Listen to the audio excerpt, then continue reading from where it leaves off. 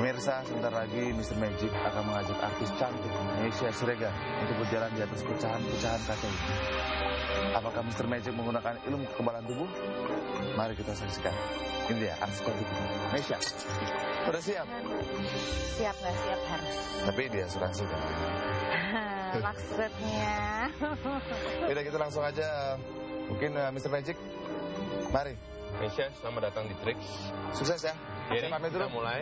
Ya silakan. Terima kasih. Indonesia, Ya. di sini ada pecahan beling Hah? dan ini benar-benar asli. Saya akan buktikan.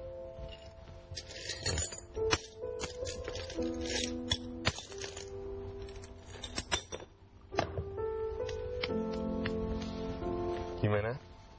Ya, saya yakin ini emang beling. Sangat harus yakin. Tapi jangan khawatir Meisha. Karena saya akan menghipnotis Meisha terlebih dahulu. Jadi Meisha tidak akan merasakan apa-apa. Tahu ini apa? Bandul.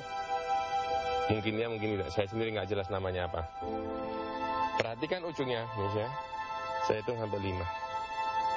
Satu, dua, tiga, empat, lima.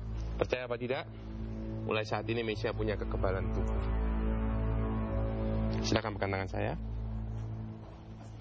Lepasin sendalnya. Jangan ragu-ragu.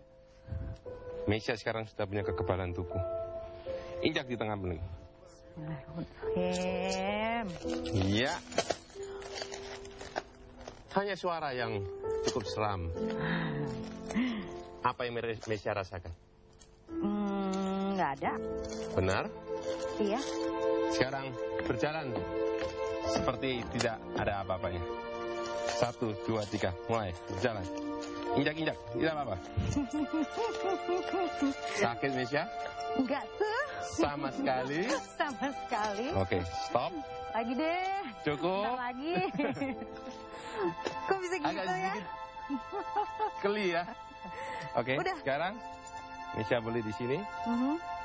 Tunjukkan pada kamera bahwa Nggak kaki ada. Meisha tidak ada apa-apa. Sama sekali. Sama sekali. Tergores pun tidak. Ya, Meisha, wow. kekebalan tubuh Meisha hilang. Jangan coba-coba di rumah. Oh, oke.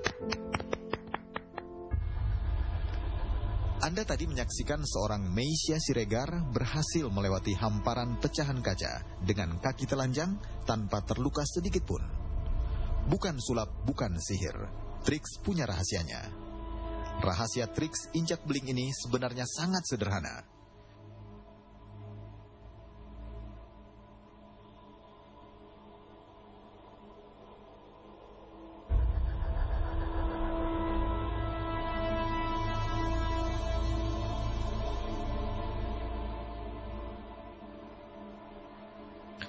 Meskipun beling-beling itu asli tajam, tapi tidak akan menusuk telapak kaki.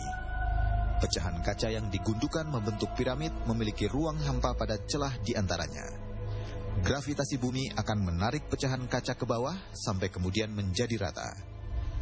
Tentu saja tekanan saat pecahan kaca digundukan jumlahnya 0% sehingga kaca tidak akan melukai kaki Meisha, tetapi bergerak ke bawah mengisi ruang kosong di antaranya.